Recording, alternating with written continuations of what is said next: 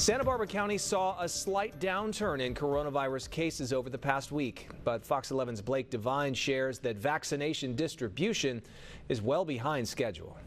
Santa Barbara County has now administered over 20,000 doses of COVID 19 vaccines.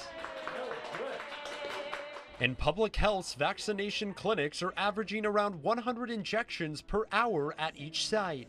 The persons who have the highest risk of suffering really poor outcomes from this infection are the first in line for the vaccine. But this isn't enough, as the county is only at 2% of what will be needed to reach herd immunity. We've ordered everything that we've been allocated, and we've said loud and clear it's not sufficient. We are completely dependent on the supply chain that's coming directly um, and is organized by the federal government. After a worrisome winter, the county's case rate and test positivity peaked on January 9th and has since decreased. While case rate and test positivity remain high, they have been decreasing uh, in the last 13 days. But a new strain of the virus has health experts on pins and needles. This virus has improved its ability to infect people. We are not out of the woods yet.